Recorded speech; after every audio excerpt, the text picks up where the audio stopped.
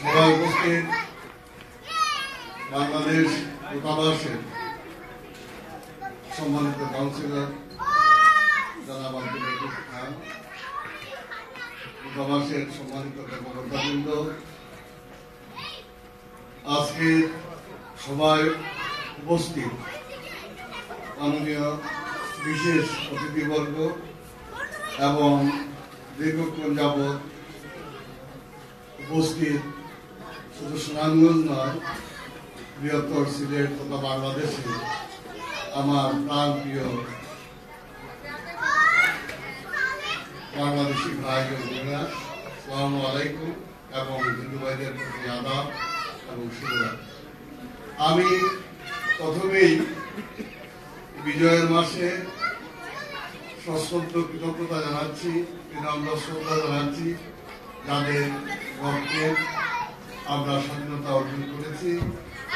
যাদের সংগ্রামের বিনিময়ে আমরা আমাদের স্বাধীনতা পেয়েছি। আমি কয়েক ঘণ্টা পর আমরা নতুন আরেকটি ইংরেজি নববর্ষে আমরা যাব। প্রসাদ শুরু হবে, তাই আগাম নববর্ষের শুভেচ্ছা জানাচ্ছি।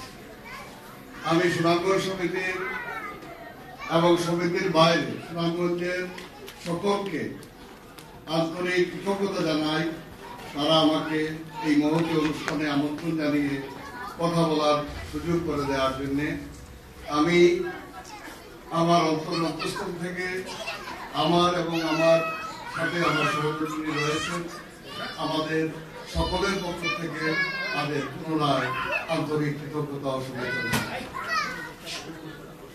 সম্মানিত উপস্থিতি, আমরা দীর্ঘক্ষণ যাবৎ সুনামগঞ্জ সমাজ কল্যাণ সমিতির কার্যক্রম এবং আপনাদের প্রত্যাশা নিয়ে অনেক বক্তব্য শুনেছি রাত অনেক গভীর হয়ে গেছে ইতিমধ্যে, অনেকেই যার যার কর্মস্থলে ফিরে গেছে বাসা বাড়িতে চলে গেছে বাচ্চারাও অনেকটা ক্লান্ত।